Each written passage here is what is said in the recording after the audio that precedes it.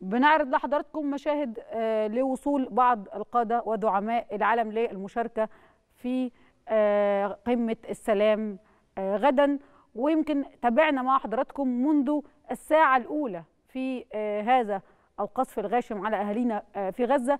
لقاءات السيد الرئيس عبد الفتاح السيسي واتصالات السيد الرئيس عبد الفتاح السيسي إقليميا ودوليا ل يعني وقف هذا العدوان والحديث عن حقوق الشعب الفلسطيني وما أدى إلى انفجار آه، الأوضاع في الأراضي الفلسطينية ومسألة آه، إيجاد حل عادل وشامل للقضية الفلسطينية. يمكن حضراتكم تابعتوا اليوم لقاء السيد الرئيس عبد الفتاح السيسي مع رئيس وزراء بريطانيا ريشي سوناك وكل التصريحات آه، الهامة التي خرجت من آه، هذا آه، اللقاء. جهود آه، كبيرة للدولة المصرية منذ آه، الساعة الأولى.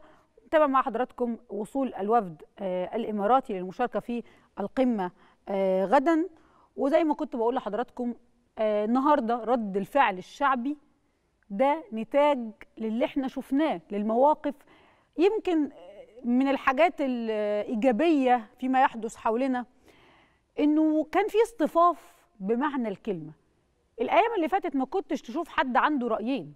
الكل كان شايف رأي واحد معارضة وقوة مختلفة الكل كان رأيهم واحد تجاه التحركات اللي قامت بها القيادة السياسية المصرية تجاه ما يحدث على الأراضي الفلسطينية. ودي نقطة مهمة جدا. الاصطفاف آه، حول السيد الرئيس عبد الفتاح السيسي وحول القيادة السياسية في هذا الوقت الحرج.